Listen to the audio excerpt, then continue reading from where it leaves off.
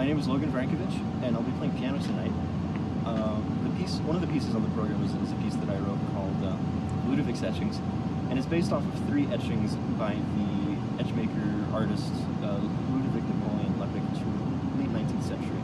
And all these etchings have the same things: a, a, a person in a boat, a tree, something in the landscape. But the way he draws the ink across the page, with he used a rag for it, uh, everything looks different.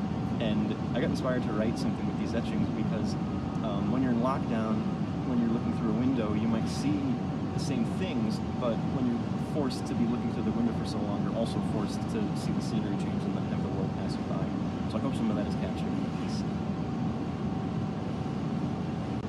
Yeah, everything that's, that's happened this year, it's you get a lot done because you're home alone, but you really miss that FaceTime with musicians because I am a composer, but I really love playing the piano. And this concert will be the third time in six months where I've touched a grand piano. So it's it's really different. It's really a privilege to be able to play it all.